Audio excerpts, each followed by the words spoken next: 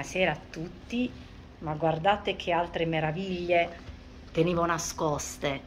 Guardate questi cuccioli deliziosi di taglia media contenuta, due maschietti. Lui è Lupin e il fratellino un po' più beige è Linus. Allora, ricordiamo la loro storia. Dove sono stati trovati loro? Sulle sulle Cesine, contrada Cesine, la Valle dell'Abbandono, praticamente non lo so, forse dai paesi limitrofi si passano parola perché ci passano da lì e vedono che ci sono tanti cani belli grassi, accuditi dalle volontarie e quindi pensano magari terranno anche loro. Ma dei cuccioli non si possono lasciare per strada. Prima di tutto sfrecciano le macchine, le moto. Una maremmana è finita malissimo per essere stata presa in pieno da una moto che correva quindi lasciare dei cuccioli significa proprio rischiare tantissimo che facciano brutta fine. E poi dei cuccioli così carini, non gli vogliamo dare la possibilità di trovare una casa? Come vedete loro sono già in una casa perché sono arrivati nel periodo in cui c'era la parvo sia ai nostri recinti sia nel canile di La Terza.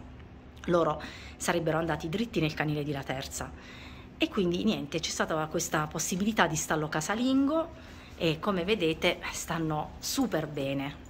Sono abituati a stare con gli altri cani, infatti il loro papà adottivo è Ciro, un incrocio Breton, bravissimo, ecco, che gli insegna tutto. E loro sono venuti su socievolissimi, non sanno cos'è la paura, anzi amano il genere umano.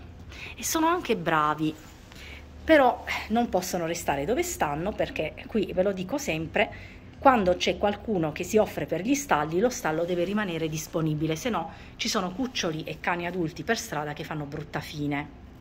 Quindi non pensate che questi sono sistemati, anzi pensate un'altra cosa, che se crescono un altro pochettino li porteremo al recinto, tanto ormai hanno i due vaccini del primo anno e quindi possono andare tranquillamente nel recinto. Pensate che tristezza, da stare belli in una veranda, comodi, poi possono anche entrare in casa, pensate, a, eh, a, essere portati in un posto dove si sporcherebbero tutti quanti, quando piangono nessuno li sente, insomma, perché non li adottate subito?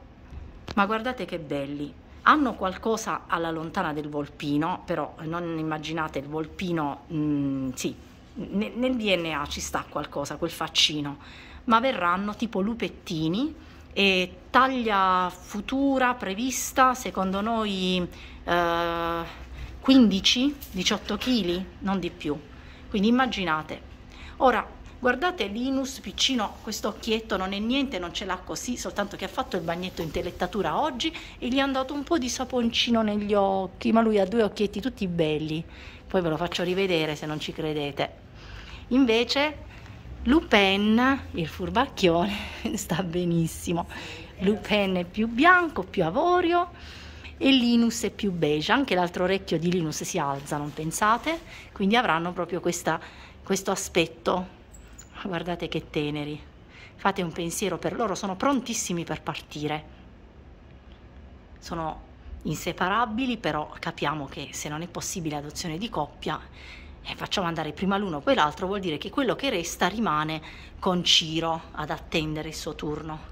Sarebbe bello se arrivassero due richieste in contemporanea, così li prepareremo, faremo lo zainetto a questi piccini per partire insieme, poi uno andrebbe da una famiglia e uno dall'altra. Comunque eh, cominciamo a sperare perché la gente sta rientrando dalle vacanze, quindi se mm, in vacanza ha pensato di adottare, perché non portarsi a casa dei cuccioli così adorabili? Perché sani, belli, puliti, profumati, adottateli. Ciao piccolini!